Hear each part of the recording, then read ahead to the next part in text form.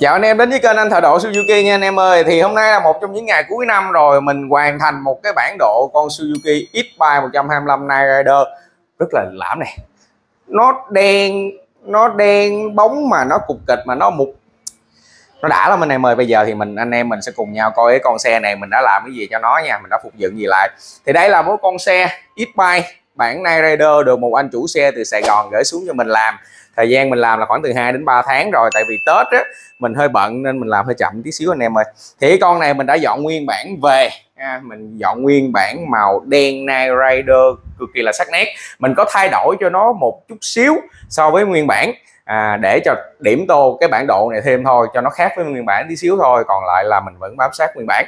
À, cái con xe này nó rất là đẹp. Thì cái đầu tiên à, cái ấn tượng đầu tiên khi mà mình nhìn vào con xe này là nó đen bóng nó cục kịch nó rất là cục kịch nó rất là nam tính ha nó mạnh mẽ. Tại vì á nguyên dàn chân này mình chơi màu đen tĩnh điện hết rồi.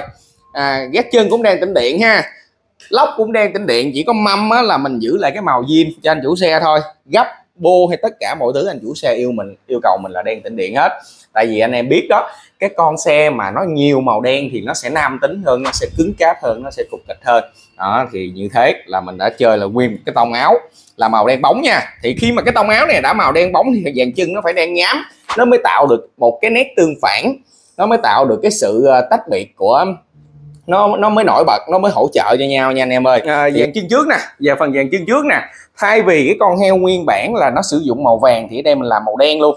Màu đen nhám tĩnh điện luôn. Kết hợp với lại cặp phục đen nhám tĩnh điện luôn. Còn cái đĩa này mình vẫn giữ màu vàng nha anh em mình không thể nào mình sơn nó màu đen được nha. Sơn màu đen thì dàn, dàn chân trước nó sẽ rất là tối nha. Cái đĩa này thì mình sẽ sử dụng màu vàng. Trên như thế này anh chủ xe này là một người rất là biết chơi rất là biết chơi. Thật sự mà nói anh chủ xe này rất là hiện đại rất là biết chơi. Nên anh chủ xe chọn một cái cặp giỏ là Michelin City Extra. Loại không ruột loại không ruột nha. Nó nó rất là phù hợp ở trên cái à, bản độ này. À. rồi một cái điểm khác biệt nữa một cái điểm khác biệt nữa so với cái nguyên bản á, là anh này anh sử dụng cái đầu ít bài. À, đầu ít bài này là cái đầu này là cái mẫu Shogun. Shogun bên Thái Lan đó anh em ơi. Tại vì bên Thái Lan á, họ không gọi con này là con ít bài mà họ là gọi, gọi là con Shogun. Thì cái đầu ở bên Thái Lan á nó sẽ là hai bóng. Nó sẽ là hai bóng. Cái phiên bản của Indo à, phiên bản của Xbuy này ở Indo hoặc là Thái Lan là để nó sử dụng đầu hai bóng. Thì cái đầu hai bóng này mình săn rất là cực anh em. Nó có khác ở với cái đầu à, Việt Nam mình á là nó sử dụng hai cái bóng chân M5 cũ và một cái đèn định vị ngay trước đây à, bây giờ em xích ra chút xíu anh bật cái đèn định vị lên cho mọi người coi nè. Nhìn nó rất là hay. Và cái đèn định vị nè mình chọn cái màu xanh băng.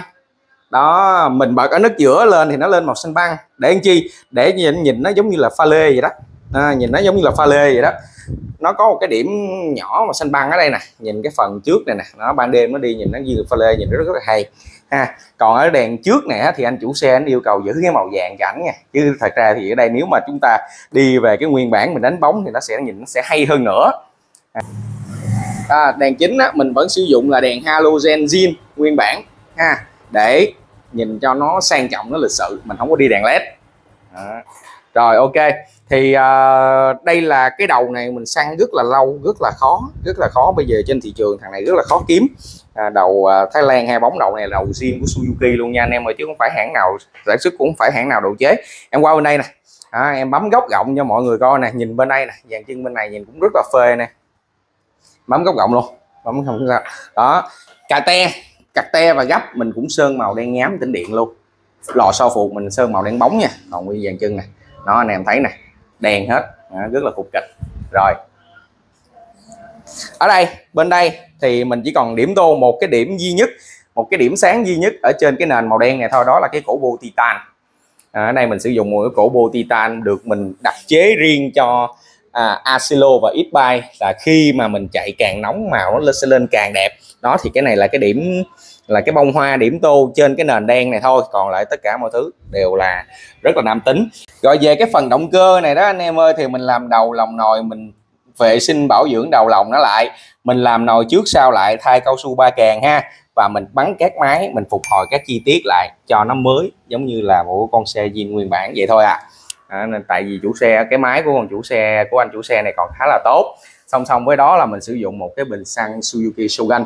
À, tại vì bình xăng của anh chủ xe khá là cũ rồi nên bây giờ mình sử dụng cái bình Shogun nữa. Là xong tổng hết cái bản độ này. Tổng hết bản độ này luôn làm máy là 22 triệu đó anh em ơi. À 22 triệu để mà mình khôi phục lại hết nguyên một cái kỷ niệm của mình mình điểm tô cho nó mình để cho nó phục vụ cho mình thêm 10 20 năm nữa đó, rất là đáng anh em ơi.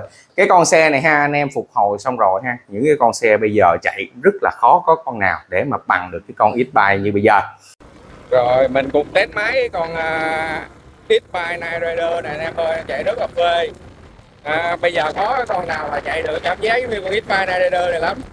Thì cái con này á, ngoài cái việc là mình uh, uh, làm máy mình bảo dưỡng bên ngoài ra rồi thì cân sườn giảng ba đồ vậy tất cả mình đều đã làm hết rồi buộc trước nè cân sườn nè và giãn ba luôn mình đã làm hết rồi. Để uh, khi mà cái quá trình mà trước đây anh, anh này sử dụng đó ờ, uh, anh chạy anh có ban ổ gà hay gì đó thì bây giờ mình cân lại cho nó chính xác luôn.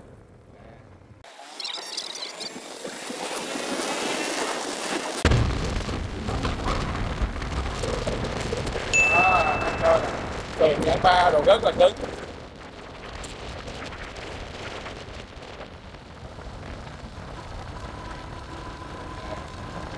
Rồi cảm ơn anh em đã theo dõi kênh nha. Cảm ơn anh em đã yêu thích những cái con xe mà kênh dọn à, tết rồi nên là mình đã ngưng nhận xe rồi. Hẹn anh em qua tết nha. Nếu anh em có nhu cầu dọn xe thì hẹn anh em qua tết nha. Còn nếu mà anh em vẫn muốn mua phụ tùng để mà về dọn con xe của mình ha thì mình lúc nào mình cũng sẽ hỗ trợ cho anh em hết. À, anh em có thể liên hệ kênh qua số 0945675425 nha. Mình ở số 14K Phạm Hùng phường 9 thành phố Vĩnh Long. Anh em có thể mua phụ tùng mình có thể ship toàn quốc cho anh em luôn còn về việc dọn xe thì mình đã ngưng nhận tới qua Tết rồi, qua Tết mình mới nhận xe lại.